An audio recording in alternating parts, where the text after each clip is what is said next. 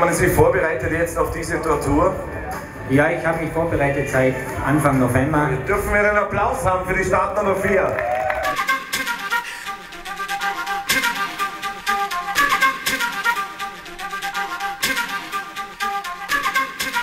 Wintertraining, Februar, draußen schneit Ergometerzeit ist angesagt.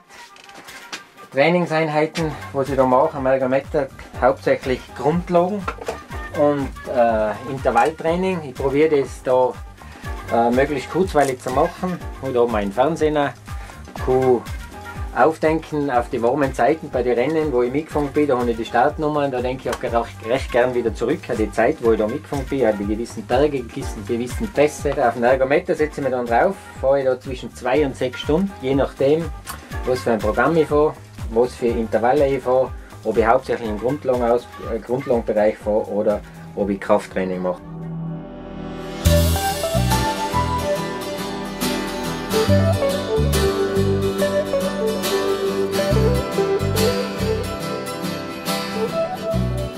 Ich habe da relativ oft beim äh, Drei-Länder-Giro teilgenommen und habe immer die Fahrer bewundert, die bei so einem Event mitfahren und solche Strecken, solche Höhenmeter überwinden.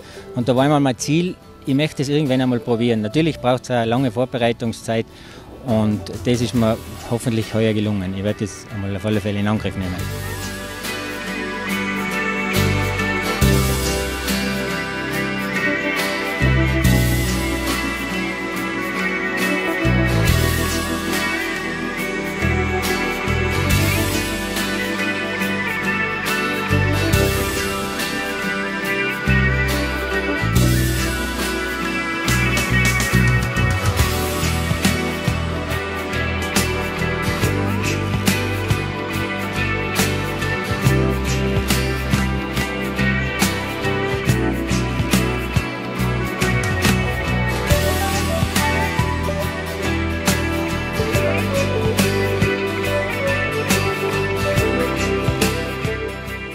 Also das Ratter ist ein Eintagesrennen, das heißt, das Rennen wird äh, in einem durchgefahren, ohne Schlafpausen. Es wird das Rad eigentlich nur verlassen zum einen Toilettenbesuch bzw. Kleidungswechsel oder kurz einmal eine Verpflegungsaufnahme. Ansonsten wird das Rennen durchgefahren, ohne, ohne Pause, ohne Stopp, über die ganze Runde. Die Runde ist äh, in dem Fall jetzt 540 Kilometer lang. Was dieses Rennen zum schwersten Rennen der Welt macht, ist sind die Höhenmeter. Die Höhenmeter sind äh, unglaublich. Es sind 14.000, 14.500 Höhenmeter zu bewältigen und das im einen Zug und die Nacht durch. Und von dem her macht das den Unterschied aus zu anderen Eintagesveranstaltungen und macht dieses Rennen zum härtesten der Welt.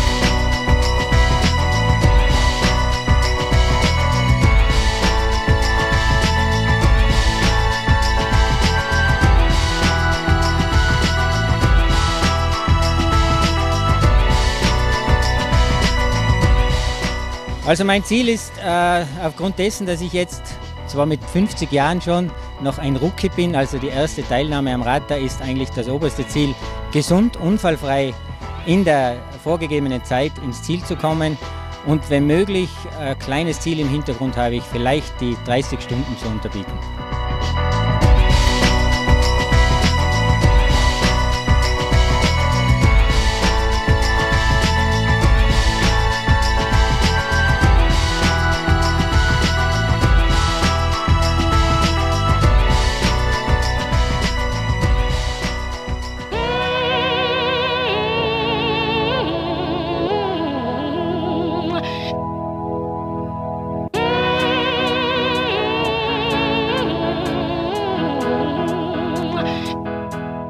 Gut, ich habe eigentlich keine spezielle Vorbereitung. Ich, fahr, ich trainiere eigentlich das ganze Jahr, äh, tagtäglich meine zwei, drei Stunden, äh, vor, die, vor sämtliche Marathons, was so im Umkreis in Österreich sind.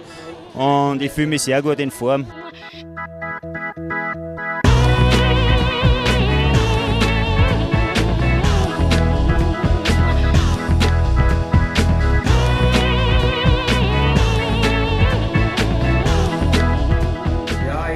Ein gutes Betreuungsteam. Das ist zum mein Bruder, ebenfalls ein sehr guter Radfahrer, ein Marathon erprobter Radfahrer und mein Freund der Andi, ebenfalls Marathon erprobt.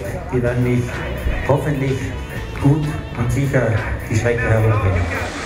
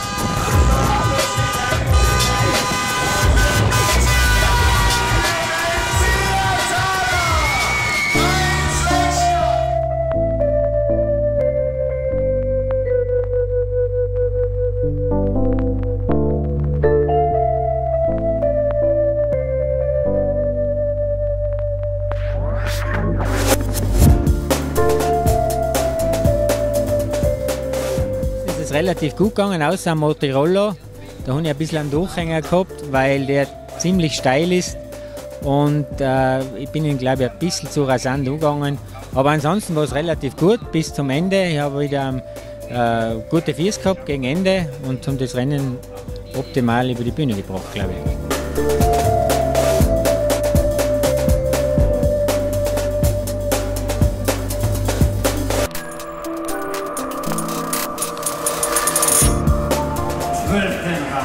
Aus Österreich, aus Tirol, aus dem Zillertal.